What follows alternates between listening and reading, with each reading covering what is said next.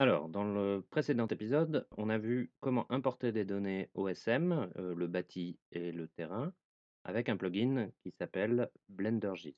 Pour le bâti, pas trop de problèmes, mais pour le terrain, on a vu qu'il utilisait le système SRTM, qui est disponible pour le monde entier, mais qui ici n'est pas très très précis. On va voir cette fois-ci comment utiliser les données plus précises que celles par défaut, et pour ça, on va utiliser ce même plugin, BlenderJIS. Si vous ne savez pas comment l'installer, euh, allez voir dans la vidéo précédente. Parce qu'on va se servir de l'option d'import de SHP, des fichiers SIG, et également euh, d'une option de triangulation assez rapide et efficace qu'on n'a pas forcément nativement dans Blender. Alors pour ce tutoriel, je vais toujours utiliser la version portable 2.82a même si depuis, une nouvelle version de Blender est sortie, la 2.83.1 en LTS, ce qui veut dire que c'est une version stable.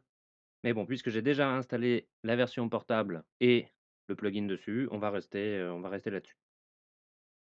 Ok, pour commencer, il nous faut donc des courbes de niveau en format SHP. On va voir trois manières de le faire. Moi, je vais commencer par euh, un premier fichier que j'ai déjà sur mon ordinateur. Je ne mettrai pas le lien dans la description.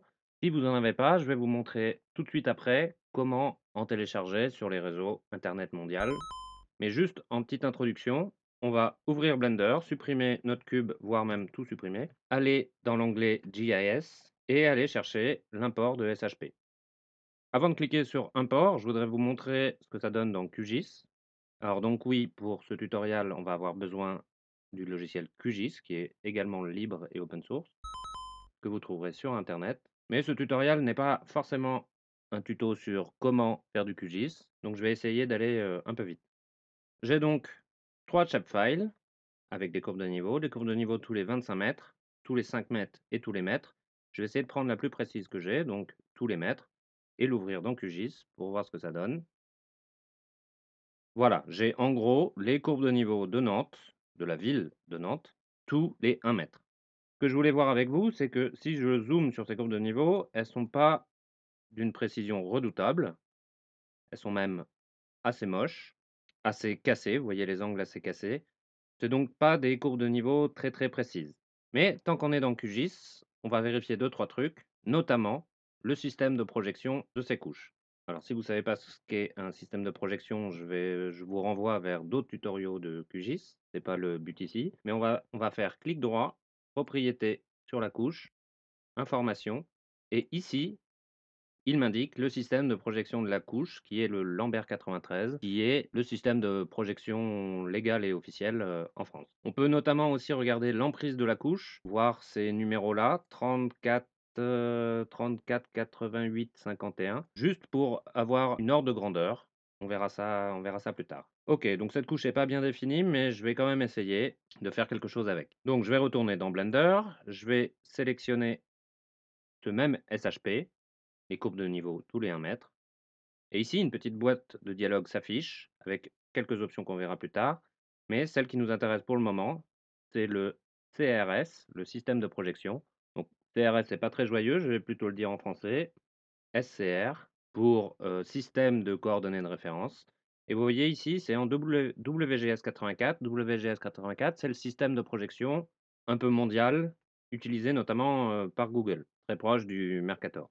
Je vais donc cliquer sur la petite roue ici et voir les systèmes de projection qu'il me propose. Il m'en propose deux, mais il n'y a pas le Lambert 93, celui que je cherchais. Donc je vais cliquer sur plus, cliquer sur rechercher, et ici je vais taper Lambert faire OK. Il cherche, il cherche, il a trouvé le Lambert 93, RGF 93, c'est celui qui m'intéresse. Donc je vais choisir celui-là, faire OK. Et ici, je vais juste cliquer une nouvelle fois sur OK pour importer ma couche. Alors voilà, mes courbes de niveau sont importées dans Blender.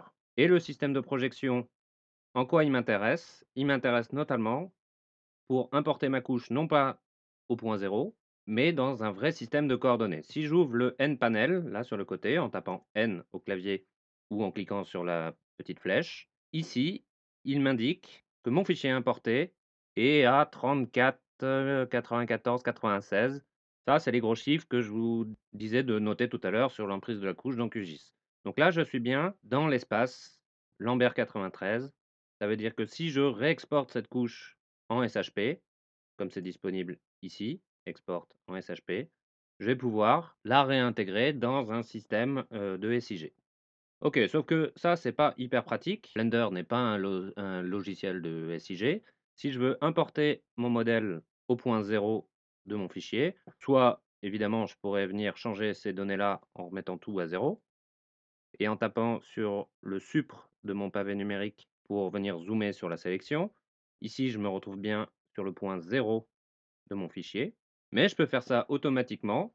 Je vais supprimer mon fichier, le réimporter, SHP, et si je veux l'importer au niveau 0, j'ai juste à supprimer le géoréférencement de ma scène, en cliquant là, ici, sur la petite croix. Et là, en faisant OK, il atterrit directement au centre de ma scène. Alors, tant qu'on en est là, et si vous avez fait un peu de SIG, je voudrais vous montrer un tout petit truc. Si je supprime mon fichier et que je le réimporte, que je resupprime son système de coordonnées et que je choisis un autre système de coordonnées, comme le WebMercator par exemple, eh ben, on voit que la forme de mes courbes de niveau de, et mes contours de la commune de Nantes sont strictement identiques. Tout ça pour dire que ce plugin n'est pas vraiment un logiciel de SIG en lui-même, très performant. Il ne gère pas la reprojection des couches à la volée. On peut aller voir ça vite fait dans QGIS si vous voulez. Ici, c'est une projection Lambert 93, la même qu'on vient de voir dans Blender. Si je vais dans les propriétés de mon projet et que je me mets en WGS 84, vous voyez, QGIS ici a géré la déformation du système de projection sans pourtant modifier mon fichier de base. Mon fichier de base est toujours une couche en Lambert 93. C'est ce qu'on appelle donc la reprojection à la volée. Les systèmes de SIG sont capables, comme ça, d'adapter une couche au système de projection du projet. Juste un petit truc quand même pour essayer. Cette couche SHP, je vais venir la réenregistrer. Donc clic droit, exporter, sauvegarder une entité sous. Cette couche, je vais l'appeler Nantes WGS 84. Et ici, je vais lui demander de convertir cette couche en WGS 84, le système de projection 4326. Donc celui dont on parlait tout à l'heure, le système de projection mondial, on va dire. Là, je clique sur OK. J'ai donc une nouvelle couche que je pourrais encore pour la démo afficher en Lambert. On se retrouve encore une fois avec la même chose que tout à l'heure dans Blender, sauf que cette couche-ci, maintenant, est une couche en WGS84. Juste pour vous montrer que si on réimporte cette couche dans Blender, je vais supprimer celle-là, import shapefile, Nantes WGS84. Comme tout à l'heure, je supprime le système de géoréférencement, et là, je vais choisir WGS84. OK. Donc ici, je suis bien sur le look, sur l'aspect, sur la reprojection d'une couche en WGS84 et non pas en Lambert. Alors ça, c'est assez important parce que vous allez voir, on va télécharger des fichiers sur Internet, des courbes de niveau, des MNT, on verra ce que c'est. Mais certains sont en WGS84, ce qui, pour nous, petits Français, des fois donne un aspect un peu chelou. Ici, ce n'est pas l'aspect de Nantes qu'on a l'habitude de voir. Donc il faudra bien faire attention au système de projection de nos couches dans QGIS. Voilà, j'espère que je n'ai pas perdu la moitié de l'auditoire. Et oui, euh, truc important aussi, euh, c'est que je vous ai promis une modélisation d'un terrain en 3D. Ici, on est bien. Oups. Ah oui, encore petite précision. Ici, je suis sur ma couche. J'essaye de zoomer et plus je zoome, plus elle disparaît. C'est parce qu'on a importé ici un fichier assez géant, faisant plusieurs kilomètres. Ou là, non, c'est faux, mais je vous expliquerai après pourquoi. Et quand je viens zoomer, ma scène disparaît. C'est ce qu'on appelle le caméra clipping, le coupage de caméra. Je ne sais pas comment c'est traduit en français. Mais ce truc-là, on va pouvoir venir le modifier toujours dans le N-Panel, dans View, et on va dire à Blender de couper notre scène à partir de 0 m. Donc lui, il s'ajuste à la valeur minimum, qui est de 0,00001. Hein. Et ici, maintenant, je peux venir zoomer sans que la caméra ne coupe mon plan.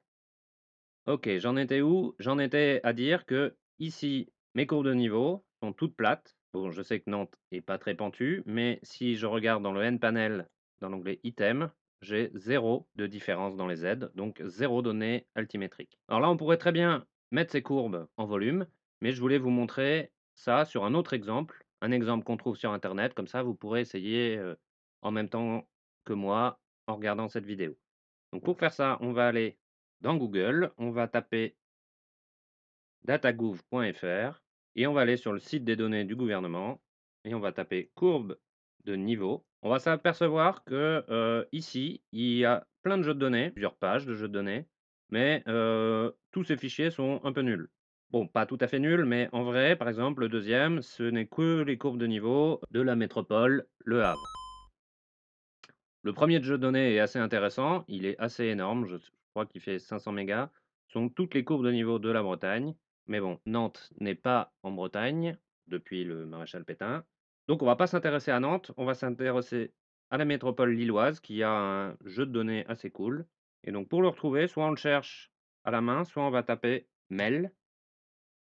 Oups, on va taper courbe de niveau sans X MEL pour avoir ici euh, donc les courbes de niveau de tous les deux mètres de la métropole lilloise. On s'apercevra ici euh, que le fichier SHP, celui qui nous intéresse, ben, n'est pas disponible, ou en tout cas pas au moment où je fais ce tutoriel. On va donc utiliser euh, le fichier GeoJSON, qui est tout aussi bien, voire même mieux. On s'apercevra au passage que 5 personnes ont téléchargé ce fichier, dont moi, au moins une ou deux fois. Donc vous voyez que même si ces données sont disponibles, eh ben, elles n'intéressent pas grand monde. Ok, donc on va donc cliquer sur télécharger. Et voilà, on se retrouve avec un fichier GeoJSON de 124 mégas, donc un assez gros fichier, qu'on va, encore une fois, ouvrir dans QGIS. Voilà, je fais un tout petit peu de tri par rapport à tout à l'heure.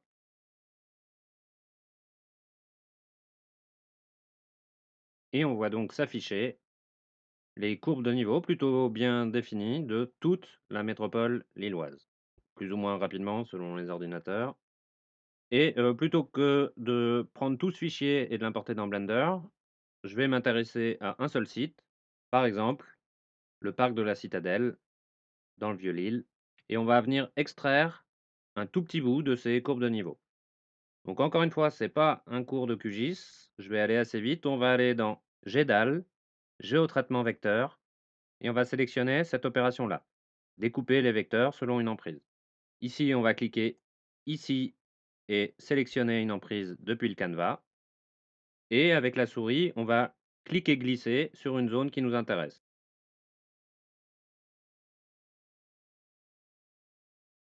Cette zone a été convertie ici en coordonnées. J'ai plus qu'à faire exécuter et attendre que l'algorithme découpe mes courbes de niveau tranquillement. Voilà, c'est fait. Maintenant, je peux fermer cette fenêtre et je me retrouve avec les courbes de niveau de la citadelle et un peu autour.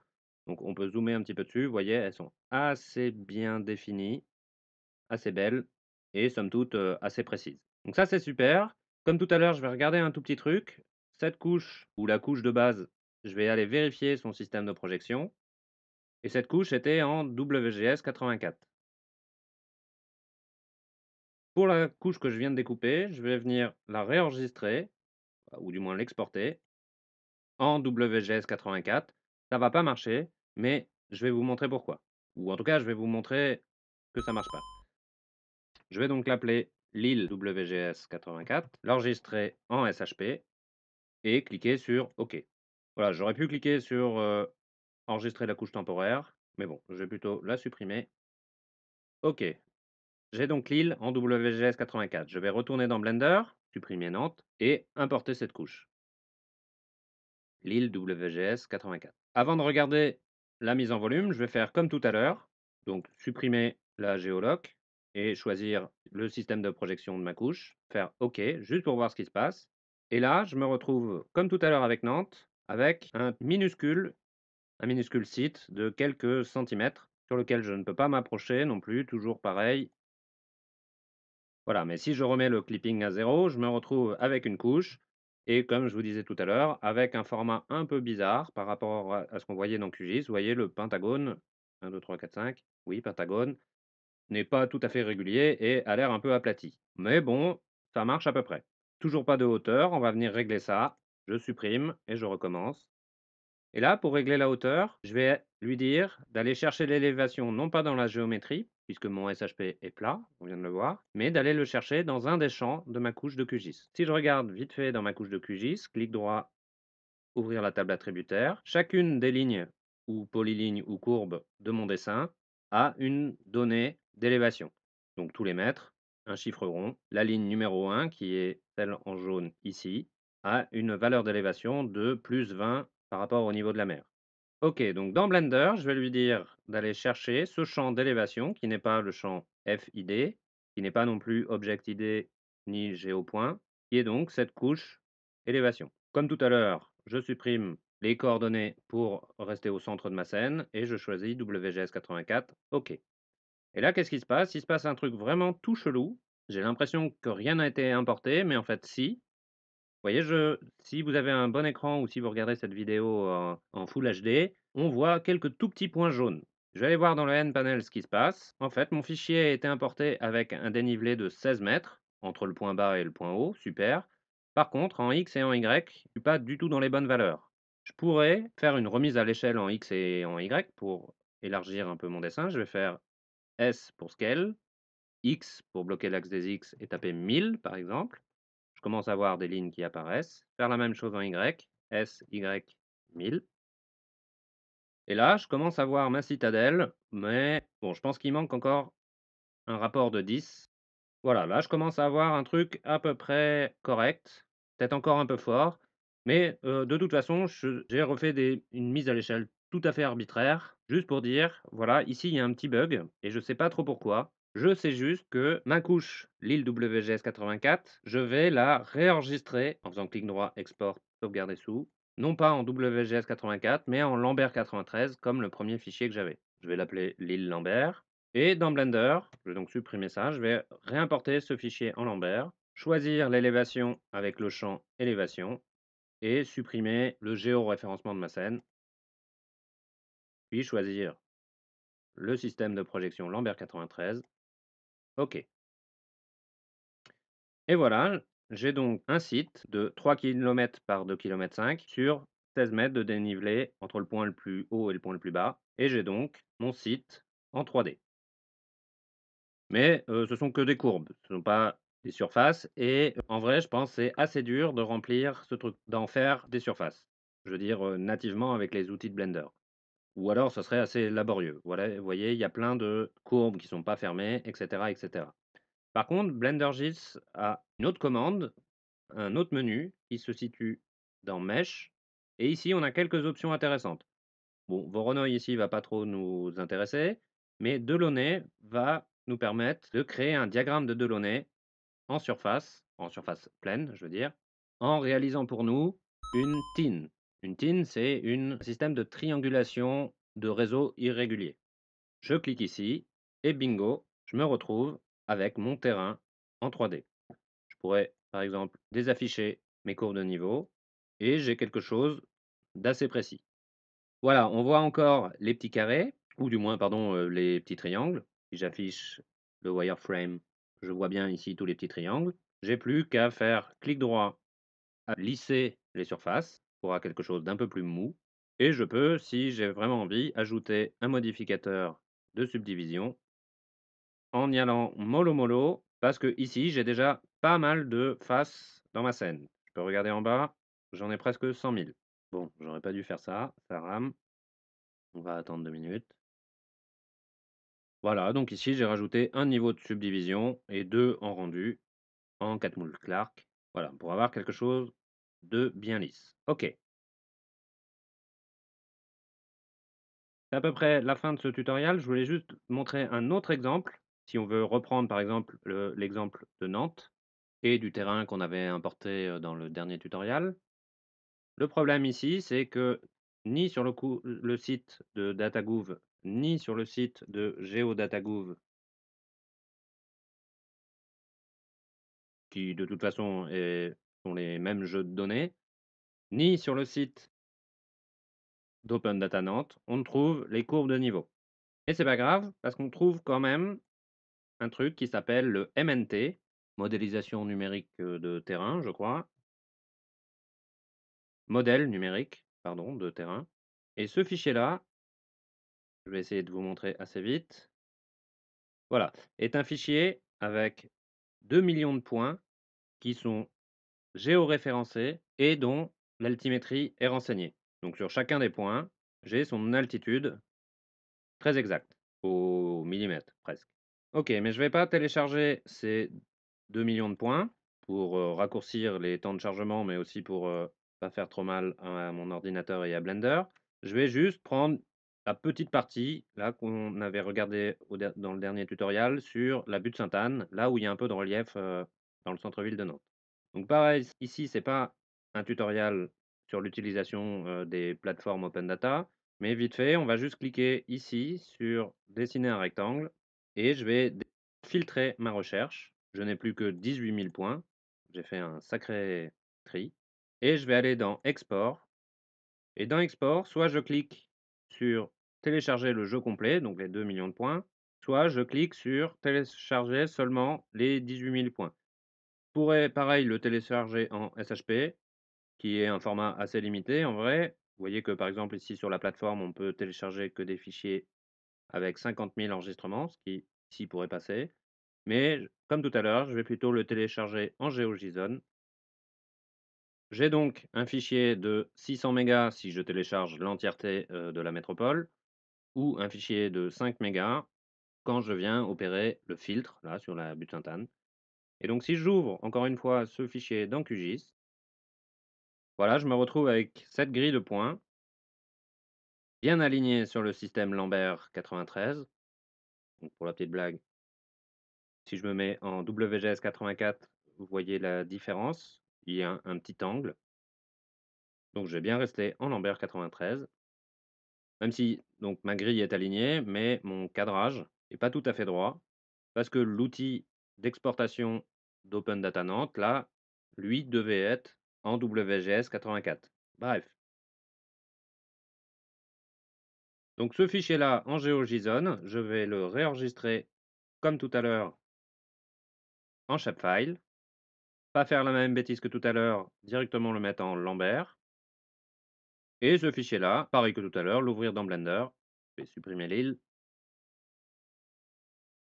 Bon, j'ai pas regardé quel champ contenait une hauteur, mais a priori, dans les quatre champs qui me sont proposés, Alti me paraît le plus indiqué. Et je vais supprimer encore une fois le système de géoréférencement et choisir Lambert. Je me retrouve donc avec je ne sais pas combien de points, presque invisible. Mais là, pareil, j'ai juste à sélectionner mon nuage de points et aller chercher dans Mesh, Delaunay, une triangulation, la passer en smooth et voilà, je commence à avoir un terrain plutôt bien défini. J'aurais pu prendre un peu plus large pour voir un peu mieux. Mais on voit très bien la butte Sainte-Anne, l'île de Nantes, la Loire, ou du moins un bout de l'île de Nantes, et un morceau de la Loire. Voilà, donc là, ici, on n'a que le terrain. Si on voulait, par exemple, la vue aérienne, eh ben, il faudrait, dans QGIS, exporter seulement la partie qui est sous mes points et faire un mapping rapide.